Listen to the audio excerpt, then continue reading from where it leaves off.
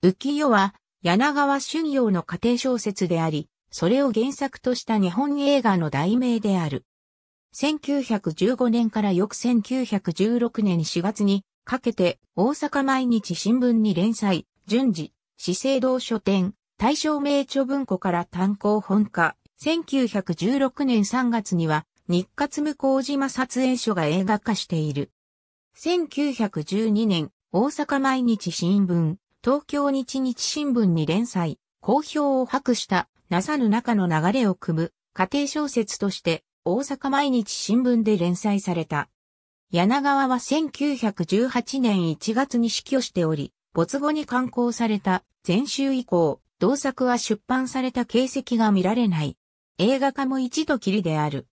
新派の劇団、整備団が1923年5月、京都座で上演、連日賑わったことが記録に残っている。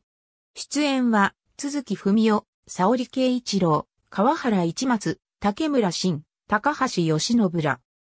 日活向島撮影所が映画化した作品の上映用プリントはいくつかのシーンを書いた51分の不完全版であるが、早稲田大学が所蔵しており、2012年には、早稲田大学坪内博士記念演劇博物館で行われた日活向島と新派映画の時代展で上映されている。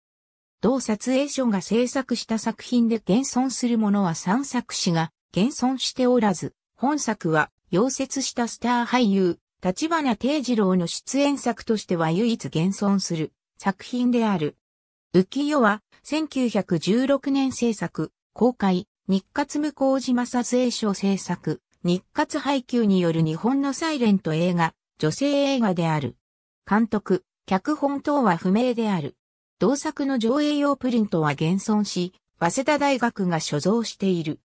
当時の同撮影所では、女性の登場人物も小山俳優が演じており、現存する数少ない小山出演映画の一つである。ありがとうございます。